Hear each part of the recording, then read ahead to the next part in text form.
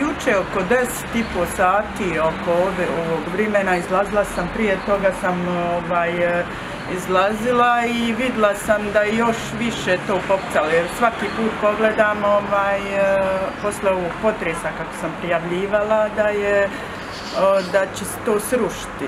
Mene su vjerovali da je gore to pričvršćeno armaturom i tome svemu i ja sam to, ovaj, ajde, mislila sam da je to to. Međutim, sve sam vidjela da je svaki ovaj, ona kocka više se ulijegala.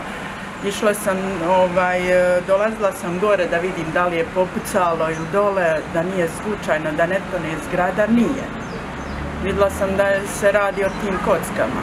Međutim, ovaj, juče ovaj, kad sam ovaj, ostavila sam nešto i ponovno sam se vratila i dole na izlazu sam sam čula ovaj, pucketanje, mislila sam da su stepenište, vidjela sam da nije sreća moja što sam bila ovaj, privrana pa sam iskočila tamo ovaj, na ovaj drugi izlaz, ali opet po šokom tim ja sam izašla na ovaj izlaz gdje se to desilo.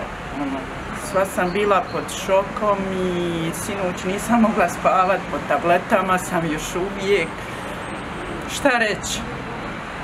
Šta je reći jednostavno? To je to.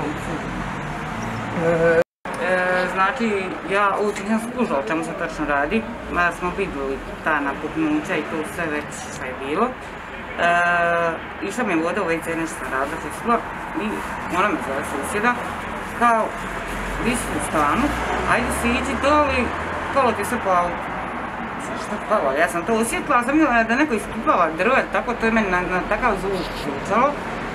I znači, ono, kad sam izašla, najprije tu ulaz, nema zida, nema, ono, katastrofa. I vidim odmah od malog biciklu na tim drugim skalama i mislim se samo ono, dite mi je prije uro vremena prošlo tuda i išlo je u školu, ne daj Bože, ono, hvala Bogu.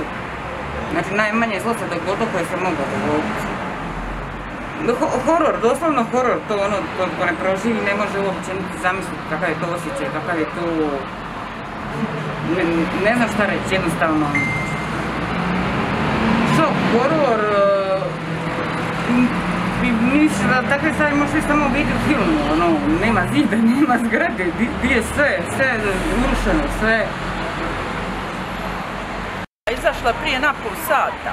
Ja, meni je mali uru pomoći Da i zna prigovarku odmora doći kući. To je baš bio veliki odmor. Znači to je ono što ste vi zatekli, tako?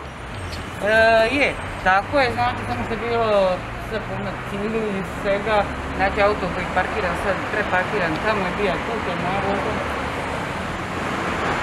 I hvala Bogu, inače vidite, u oko ove ure bude baš puno auta ovako parkiran i hvala Bogu pa je bilo samo moje i nije niko prolaznika prolazi, ja mislim, Doslovno... da se djeca igrala tu, trčkaraju juče auto išlo prema, uh, da se parkira tu. Da, i žena je ono vidjela stante, kao stante. Da, jer to, to se ruši, ovaj, ne znam doslovno, doslovno ne, ne, ne, nema riječ s kojima se to može upisati, taj osjećaj, taj... Uh, ja sam sam, ni, ni, kao nisam se pripala, ali trepla. Ja sam više cijeli dan, znači, ne tresla se, nego trepla, me cijelo tijelo trepla. A čak mali kad je došla iskoro, kaže, mama, ja sad trepim. Ono.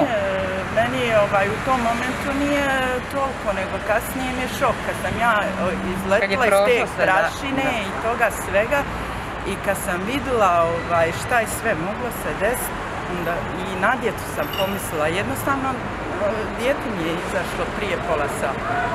Arhitekt tu, ovaj, tužit će nas, toga mi sad treba. Da.